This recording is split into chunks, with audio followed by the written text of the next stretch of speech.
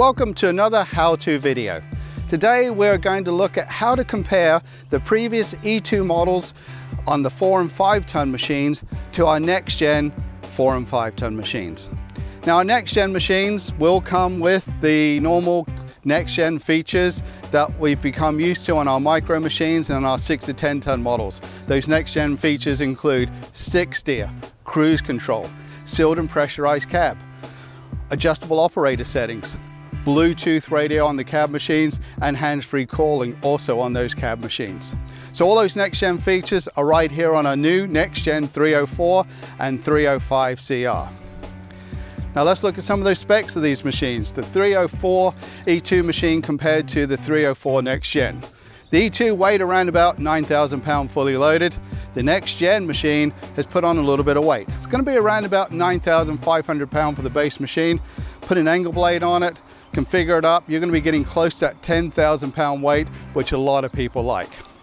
Now, one of the big changes to the four ton machine, it was 77 inches wide. We've actually shrunk that into 67 inches, so it's 10 inches narrower to allow access into backyards, through structures and into areas that are hard to get to. So we can get in with that 67 inch wide machine, but then you'll see a big difference on the back of the machine, it's a reduced radius. So we now have this overhang on the machine. It's no longer a CR machine. That allows this machine to have incredible lifting and incredible stability because of this reduced radius design. So narrow for that access and great stability onto that machine. And we also have an extra counterweight option on this four ton machine that weighs 225 kilograms that just take you to another level. Now, if we look over at the five ton machine, the 305 CR fully loaded E2 was around about 12,000 pound. The next gen 5 ton machine is also going to be about that 12,000 pound.